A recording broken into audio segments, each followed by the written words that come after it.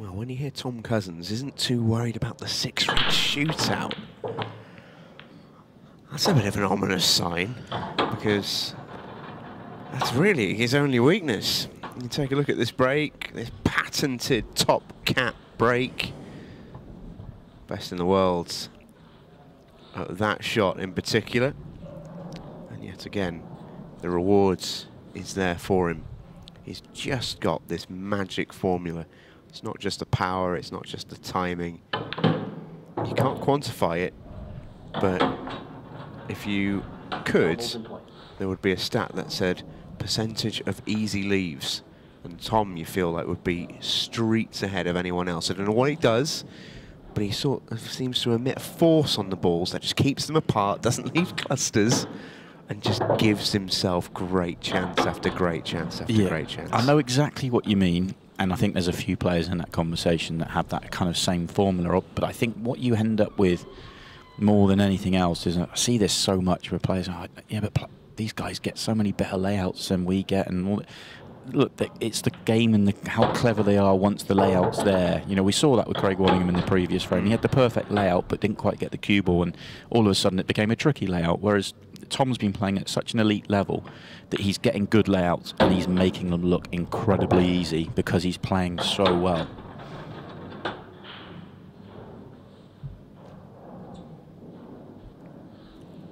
Said it time and again that quite often you watch Tom Cousins play and it's almost like he's got his pipe and slippers out. He's strolling around the conservatory at home, totally uninterested, just potting balls. But he does this against the best players in the world on the biggest stage. Tremendous talent.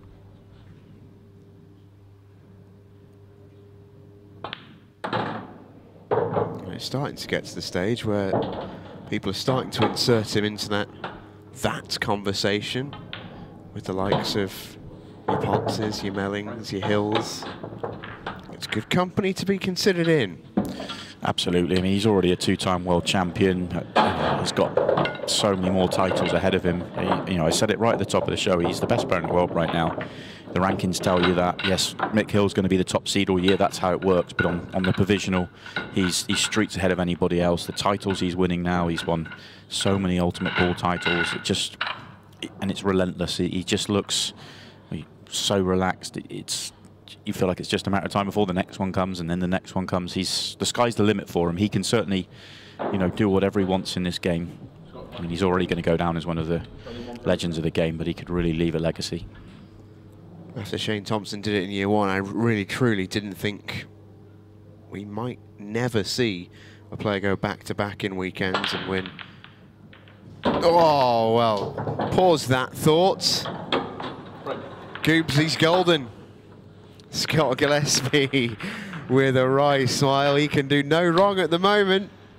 Golden break in response, and in the blink of an eye, it's 1-1. And that, right there, tells you where Scott Gillespie is, Simon, because a year or so ago, I remember watching Scott, I think he was in the Players' Championship, and he hit quite a few golden breaks. He almost made a thing out of celebrating them but now he's he doesn't want to celebrate them. He's back in he's back in demon mode. Do you know what I mean? He, he almost doesn't want them. He's confident enough in his own game that he doesn't need them. Previously, he was so happy to get them, he wasn't afraid to celebrate them. He also knows that will hurt Tom. You know, as much as Tom is is very laid back, he knows that will hurt, and you know that it's it's part of the game, and yeah, he's a he'd be very very happy not Tom's usual standard of explosion, but yeah. still makes a ball yeah, and still gets matter. a layout. Yeah, doesn't matter. Yeah, just watch the pack here. They don't quite go for him. He put a little bit into that as well. Got a little bit of, uh, of the old cue bend on the go. Didn't quite time it as well as he would have liked, but I mean, this is the layout that you expect Tom to get. Could go either colour set here. Well, he's looking at reds. Yeah, red below the eight ball is the one that's catching my eye. It looks very simple, but that's the one that can catch you out, and that's why he's dealing with it early. This is what I was talking about in the previous frame. You know, a lot of players in there, they see the reds at the top and the reds at the bottom. They clear up the reds at the top, come down, and then find they've got an awkward connection towards the end.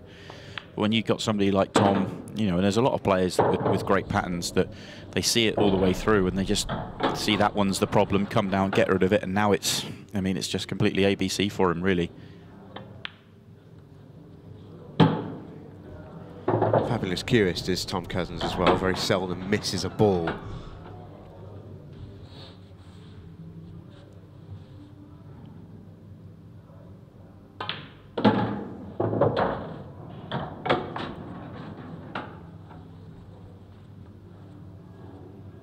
You're sort of looking for, if you're sort of running into Tom Cousins in a tournament, you know there's just no weakness. He was a top trump top trump card. He stacked out all the categories. There's, there's just no weakness there. You've just got to hope you get the chances. Yeah, absolutely. Just taking his time on this one because he's, he's landed just off straight the wrong way.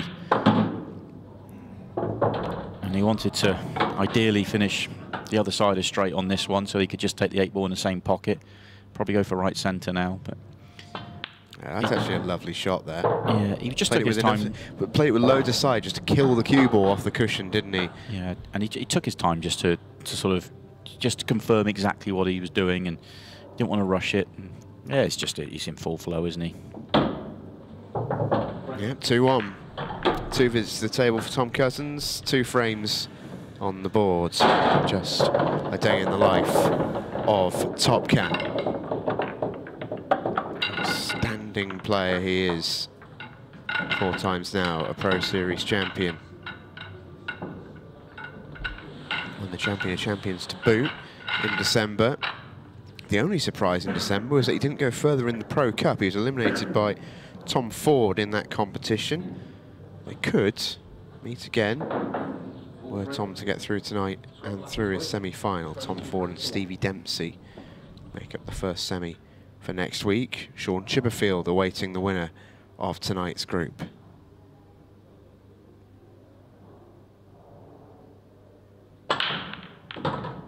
Another fabulous break from Scott Gillespie. He's always been a confidence player and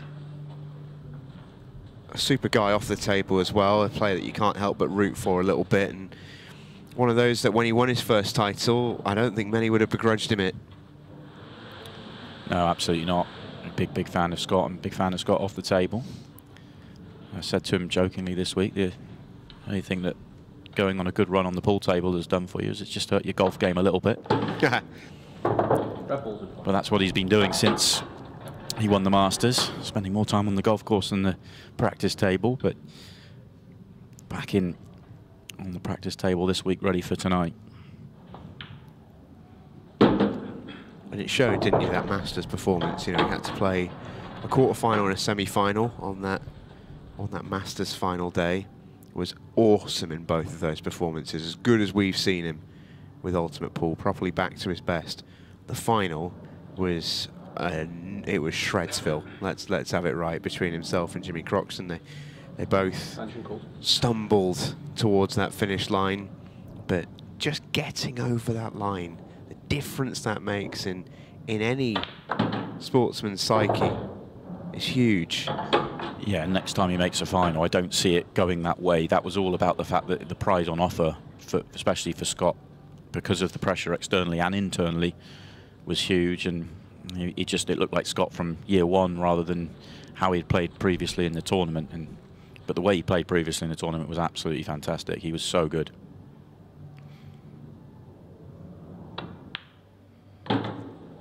player cut from the same sort of cloth as uh, Craig Waddingham with his patterns. Not necessarily as they're almost divided in two really. You'd sort of put Phil Phil Harrison and Tom Cousins in in one school and and Goobsy and Wad in the other. Yeah, I can. Scott, Scott and Craig aren't happy, aren't unhappy to to leave themselves big pressure pots. They both back themselves in that department. Don't always have the world's most perfect cue ball or patterns, but they get out more often than not.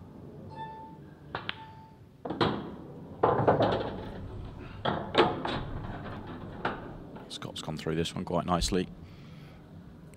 A little bit of work around those yellows just to pick them apart.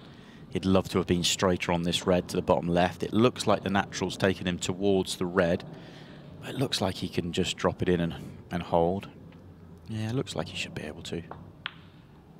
Oh, Always Yeah, I was going to say, just for a second, I thought he'd overhit it because he was putting it on the thin side, but he pulled up plenty in time. Just about judging this shot. Doesn't really want to hit the yellow.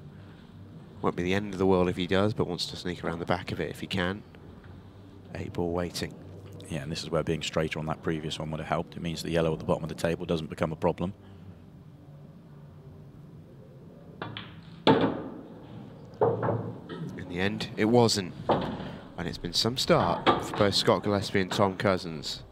Both yet to blink. And we are Desmond through the first ten and a half minutes in this one.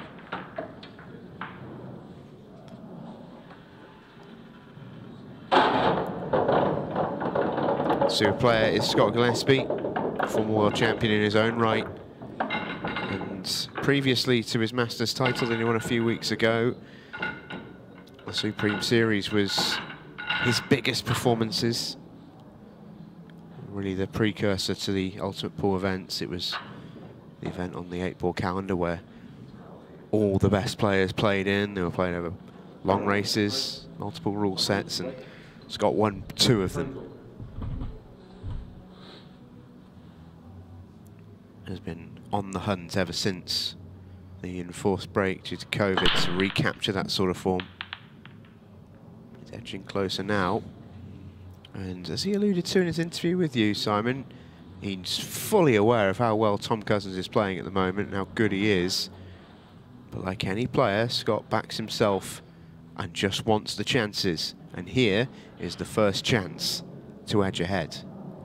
He can keep Tom Cousins off the table now. Trickiest layout off a Tom Cousins break though. Red and yellow together in the bottom half of the table. Awkward. And if it's yellow, going to be yellows, which is looks like what he's eyeing up here, it's away from the rest of the yellows. I only wonder whether it drops in the right centre. It probably does, but it's still not a great ball because you don't have a good ball to sort of land on it into the right centre. So this is far from ideal, and it's a, obviously goes without saying this is a massive visit to the to the match, really. Well, he could probably get there now if he wanted to, from this yellow closest to the left side pocket. Yeah, I, I, quite like that. I mean, for me, you either get there now or you leave it late. But if you leave it late, you really are asking for trouble. But the, it connects well to the eight ball. Very close to time fouling there. Was just in time. Did well there, you know. He's played a good shot too. I think he's hit the gap. I think the yellow closest to the two reds together actually passes into the middle pocket, which makes his work a little bit easier. These aren't the finishes where Scott would tell you himself he excels at. It's a little bit nippy and a little bit, a little bit tricky. He had a good look to whether the yellow goes in the right centre pocket because that would have really helped. He do he really does want the yellow nearest the left centre to be his ball onto the one in that we're talking about being last, the more awkward one. Yeah, because it's slightly lower than the pocket. He can manufacture more of an angle. He can pot it high as we look at it. He might, be able to, he might be able to play on it now. Oh, he's going to move it. That's a great shot. It's very good. Off I'm, the plant as well. Yeah, I'm surprised to see him move it because I thought it did go, but he played it in such a way where he was guaranteed to be on the one in left centre if he got that full ball contact on the red and yellow, which he did. And he'd have been very unlucky not to open up and leave a, a good chance to get out. So, well played shot.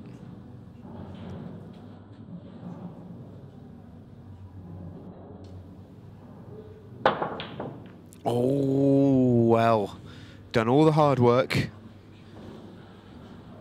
And falls at one of the final hurdles.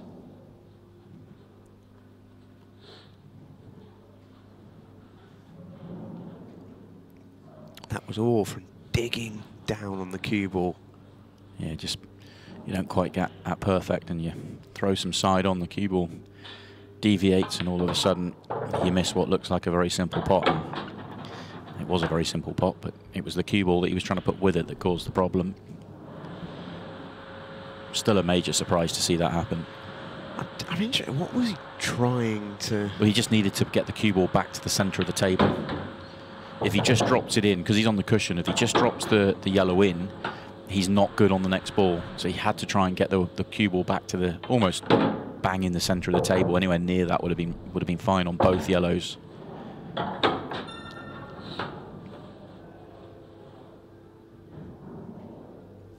bad moment for Scott Gillespie. Tom Cousins is going to get away with one.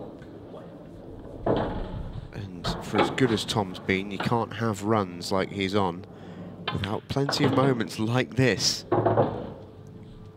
It's amazing how many players will tell you that when they hit a bit of a streak and they find a bit of form and they're winning tournaments, how many opportunities they're handed than they, than they were before. When players are scratching around for form and results, they don't tend to get these sort of rubs. Tom Cousins is in front. Right. Courtesy of a Scott Gillespie mistake, and it was a big one.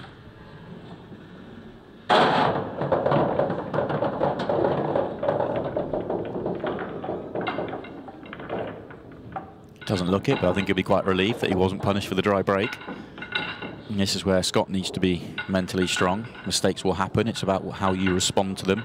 He still has the next break, so in his own mind, he still should be thinking positive.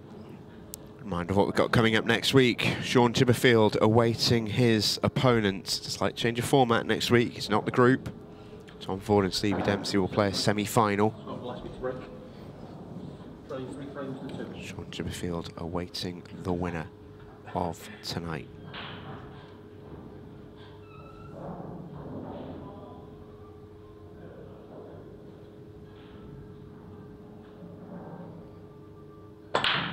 That's the 15 second shot clock we go. feel like you've got quite short odds on a dry break there from Scott Gillespie, but maybe it's his sort of form and that's influencing things. That's a lovely break. I felt like they gave, he gave that one even more. A little bit of frustration in that one, but they really exploded on him. And it's a lovely layout for him. You can just die this one in. Oh, I'd love a little bounce. I mean, he's okay.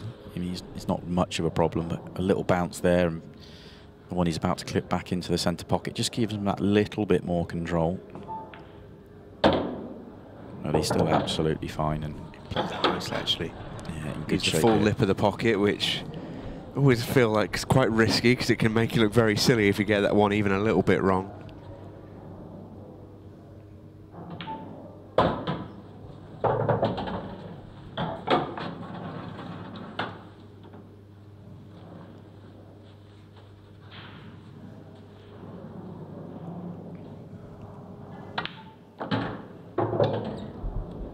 He's a little bit short. Straight into the bottom right-hand corner was where he was trying to get to off the red left centre.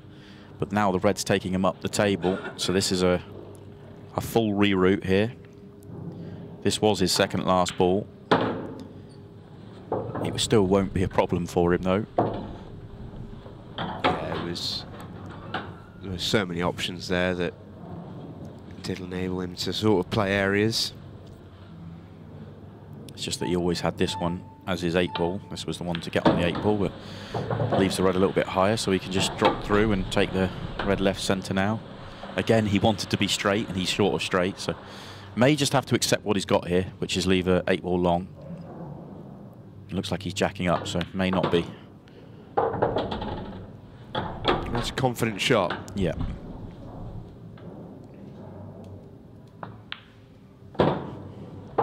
Three-three. Scott Gillespie not going away. We've got one minute and 55 seconds left. We will have one more frame. Tom Cousins breaking off in it. And that, to me, sums up Scott Gillespie 2023 compared to Scott Gillespie 2021 and 2022. He's made a mistake, and okay, in these small margins, it feels like a big one. The fact that he didn't punish the dry break from Tom Cousins and go 3-2 in front, but instead of backing that up with a dry break or something tentative and another mistake, he's backed it up with just a, a flawless break clearance and, and said, over to you, Tom. You're still going to have to go and win it here. Yeah, it's that. It's that often sought for thing in any sport, belief. He has now got lots of it. You can have all the belief you like. He's not necessarily going to have a chance in this final frame if Tom Cousins can make a ball and run these out. Well, he has made a ball. Do you know what else he's made? He's made the cue ball. And Scott Gillespie has one minute and 45 seconds and ticking to win the first match of the night for these two. And these reds are good. These reds are really good. He doesn't actually need to rush here. You've got five reds in the eight ball, six pots, 15 seconds a shot. You don't have to be sprinting around the table. Yeah, takes it long to guarantee the good angle on the red left centre to track down the table. I think he's going to leave the red over right centre for potentially last ball. Yeah, that is really nice.